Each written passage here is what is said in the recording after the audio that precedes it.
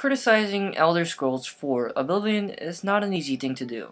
Not with production value this amazing, and not with the design this brilliantly executed.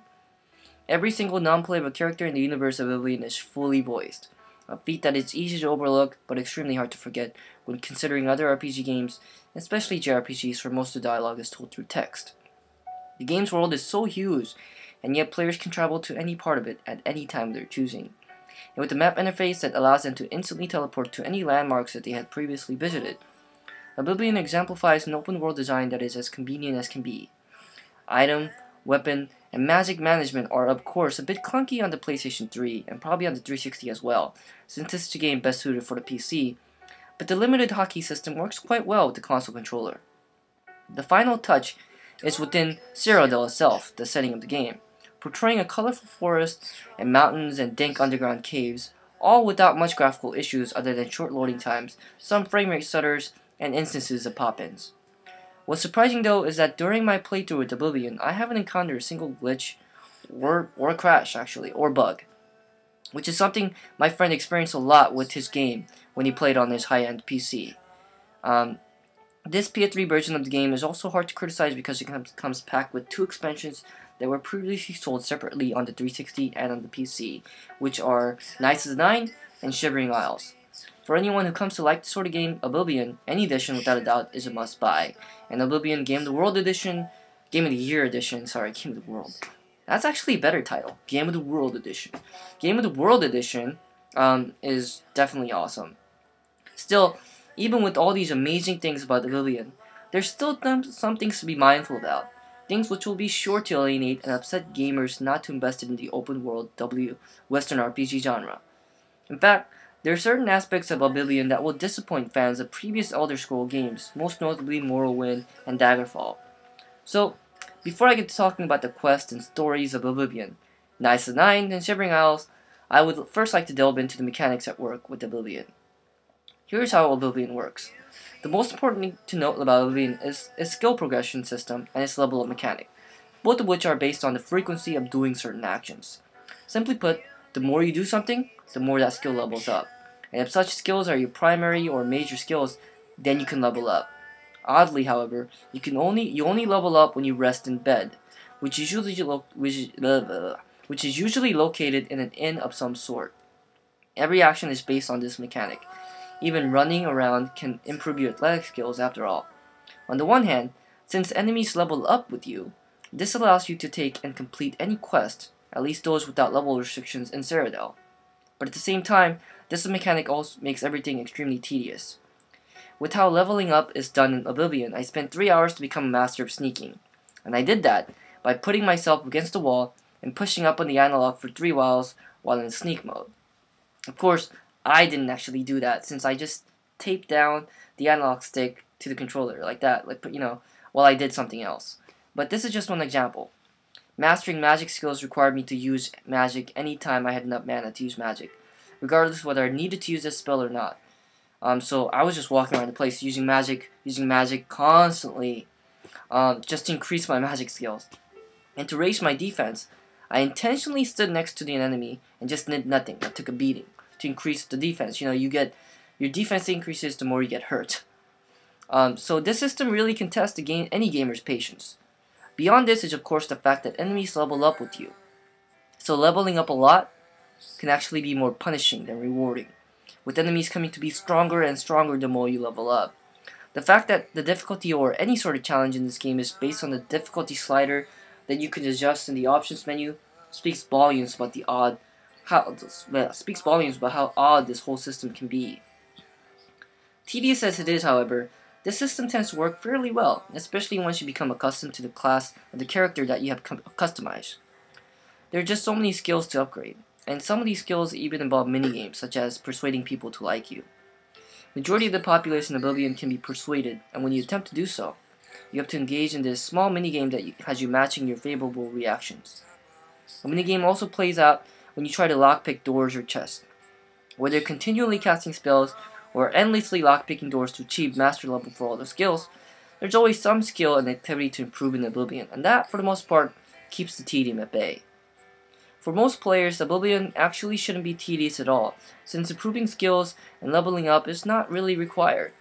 There's a shrine quest that grants you a skeleton key, which is an un unbreakable lockpick, so improving lockpicking skills isn't that important either.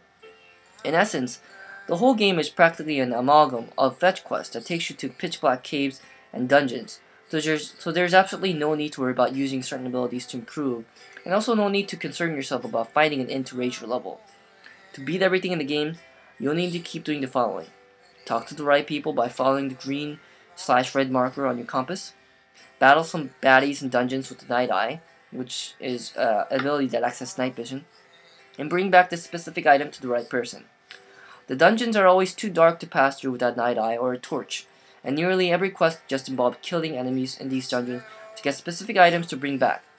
But the rewards for doing quests are pretty cool, and there's always interesting dialogues to be had with people you do errands for.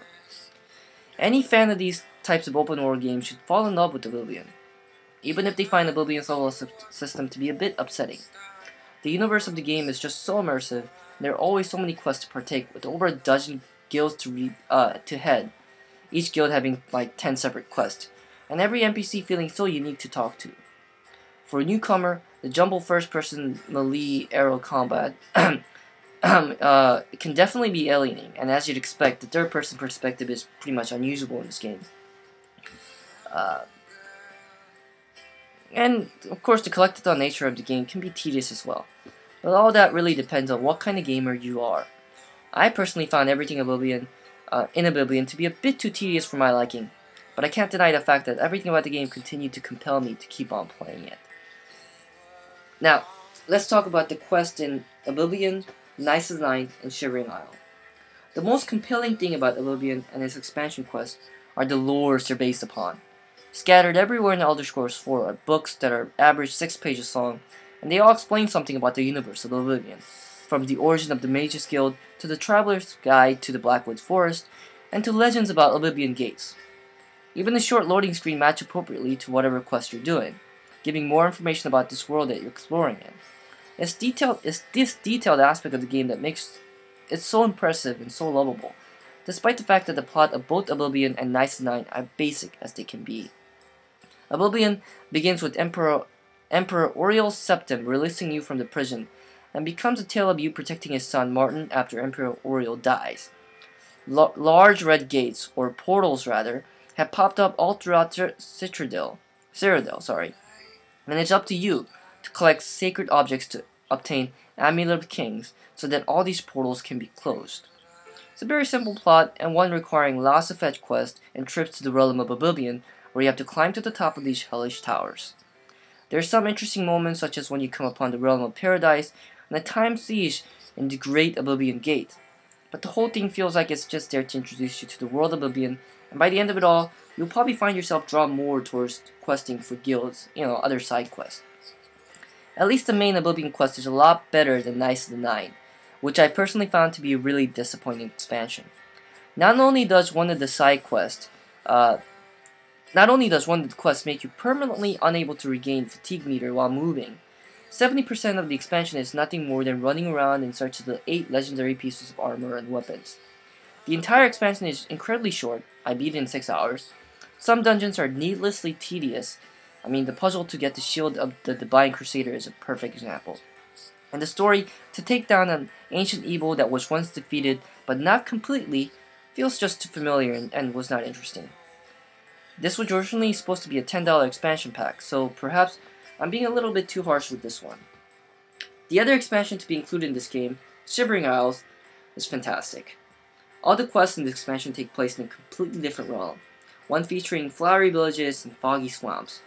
The visuals featured in the expansion are awesome, but I have to say that the story and the presentation of Shivering Isles is just actually much, much better than the main Oblivion quest. The characters in this expansion are just so lively and unique, especially the mad god Sheogorath, who rules the realm of Shivering Isles. The twist near the end of the expansion is well executed and feels extremely satisfying considering what kind of quest players are taking to get there, such as a dungeon that lets you torture adventurers the way you fit, mentally or physically, and igniting a civil war between the two races serving Sheogorath in order to activate a torch. Shivering Isles is truly the best representation of what Elder Scrolls 4 is and can be. The areas in Shivering Isles are much more interesting, the narrative more, more compelling, and the quest so much more fun and diverse. I feel that just for this expansion, Oblivion is a must-play experience for everyone. This expansion really is so good. It's so much better than the, uh, the actual main game. Beyond these main story quests and expansions, there are a bunch of quests to partake in um, in Oblivion, and thus, if you wish, you could get a lot of playing time out of this, just one game. Quests for the Thieves Guild in particular are a blast to play with. There are other things to mess around with, such as becoming a vampire, or resisting arrest after raising an extremely high bounty on yourself by getting caught while committing heinous crimes. Some design choices, like the level system, may be too off-putting, but make no mistake about it. Elder Scrolls 4 Oblivion truly deserves all the praise it gets, if not for the content it offers, then simply for the incredible production value it contains.